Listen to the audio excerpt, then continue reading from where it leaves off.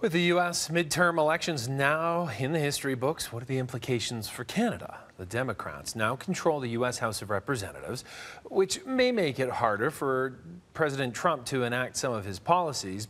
But what about trade? The new NAFTA agreement, the so called USMCA, there's also the tariffs Trump placed on Canadian aluminum and steel. Seems that's all very much still uh, highlighted with a question mark. To chat more about this, we're joined by Danielle Smith from 770 CHQR.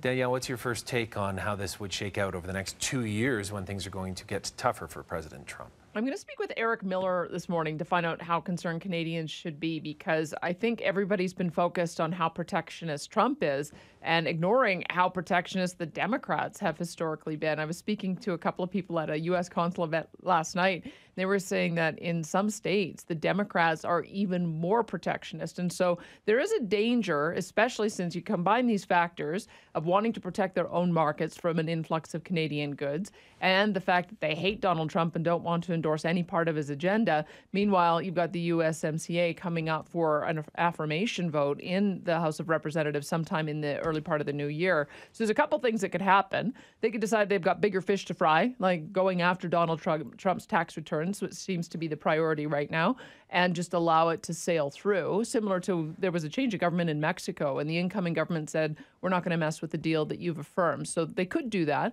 If they do reject it, it means that the NAFTA agreement will prevail, which, you know, and I, on the surface is actually better for Canada since it was seen to be a better agreement than what we ultimately ended up being forced to agree to. But then that could re- prompt a counter reaction from Trump, who says, fine, if you're not going to play ball with me, I'm just going to pull out of the deal mm. altogether and, uh, and with a six months notice. So, that's something that we won't know until we see how those pieces fall into place over the course of the next few months. But I'm going to try to bring some an analyst on to understand how uh, that will change and whether or not we can expect to see any kind of resolution on the steel and aluminum tariffs too. Okay. Hey, uh, can I put you on the spot here for a minute, Danielle? I just wanted, there's so many firsts, so many women that won seats in Congress uh, in yesterday's election and coming from a background of politics. What would you, does this expand to more Western democracies to maybe have an influence at supporting women who have struggled and faced so many barriers in politics? You know what struck me is how far ahead we are in Canada in having women have senior roles, and not only as premiers, but also as cabinet members. I was kind of shocked at how surprised they were at how many women got elected. I think it was 83 out of a total of 450 some seats.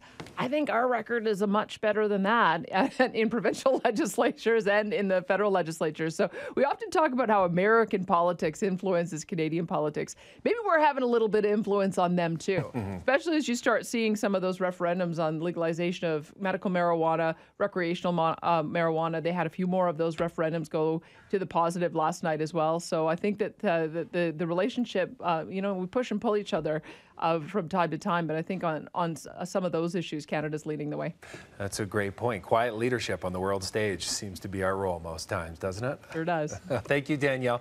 You can listen to Danielle on 770 CHQR weekday mornings from 9:30 to 12:30.